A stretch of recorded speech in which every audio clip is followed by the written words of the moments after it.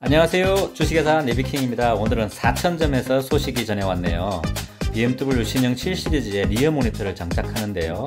어, rear headrest 쪽 보시면 거치할 수 있는 방법이 없어요. 해서 이렇게 순정형 bracket을 이용하여 개조 작업을 진행하여 완벽하게 적용해 보았네요.